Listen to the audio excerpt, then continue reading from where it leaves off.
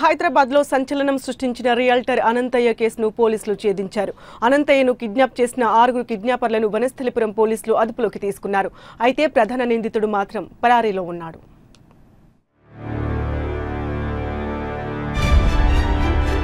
హైదరాబాద్లో వరుస కిడ్నాప్లు కలకలం సృష్టిస్తున్నాయి. ఇటీవలే ఎల్బీ నగర్లో అనంతయ్య అనే రియల్టర్ను గుర్తు తెలియని వ్యక్తులు కిడ్నాప్ చేశారు.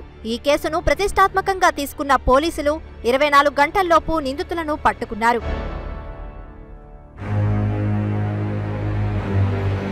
ఈ నెల ఇరవైన షాప్కి వెళ్ళి తిరిగి వస్తున్న సమయంలో రియల్ ఎస్టేట్ వ్యాపారిని దుండగులు కారు సాయంతో కిడ్నాప్ చేశారు. అనంతరం కుటుంబ సభ్యులకు ఫోన్ చేసి డబ్బులు డిమాండ్ చేశారు. సీసీటీవీ ఫుటేజ్ సాయంతో దర్యాప్తు మొదలుపెట్టిన పోలీసులు ఆరుగురు నిందితులను అదుపులోకి తీసుకున్నారు.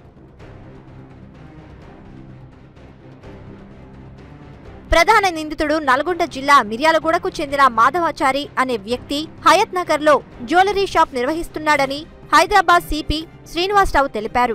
ఈయనకు వెస్ట్ బెంగాల్కు చెందిన అన్సారీ ఫేస్బుక్లో పరిచయం అయ్యాడని అనంతయ్యను కిడ్నాప్ చేస్తే రెండు లక్షలు ఇస్తానని ఒప్పందం కుదుర్చుకున్నాడన్నారు. దీంతో అన్సారీ మరో నలుగురితో కలిసి అనంతయ్యను కిడ్నాప్ చేశారని తెలిపారు. ప్రస్తుతం మాధవాచారి పరారీలో ఉన్నాడని త్వరలోనే పట్టుకుంటామని సిపి వెల్లడించారు.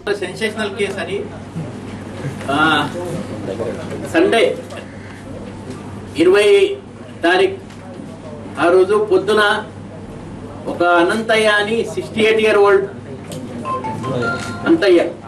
Anthaiah అని సిక్స్టీ ఎయిట్ ఇయర్ ఓల్డ్ ఈయన అంతకుముందు సర్పంచ్ కూడా చేశారు దేవరకొండ ఏరియాలో అని. దేవరకొండ టౌన్కి సో ఆయనకి ఈ బిఎన్ రెడ్డి నగర్ వనస్థలిపురం ఏరియాలో ఎవరు నలుగురు వచ్చి ఒక కారులో తీసుకెళ్ళారు అని ఆ ఇన్ఫర్మేషన్ కొంచెం ఆలస్యంగా టూ త్రీ అవర్స్ తర్వాత మనకు వచ్చినాయి అది ఇన్ఫర్మేషన్ వచ్చిన తర్వాత ఇమీడియట్లీ ఫస్ట్ ఆఫ్ ఆల్ ఆ ఏరియాలో ఉన్న సీసీటీవీ కెమెరాలు ఆ ఫుటేజ్ రిట్రీవ్ చేయడం తర్వాత ఫిజికల్ ఎవిడెన్స్ కలెక్ట్ చేయడం.